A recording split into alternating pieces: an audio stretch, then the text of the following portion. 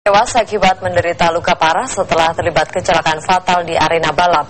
Musibah yang menimpa bintang balap berusia 22 tahun terjadi di putaran terakhir lomba balap di kota Balkarke.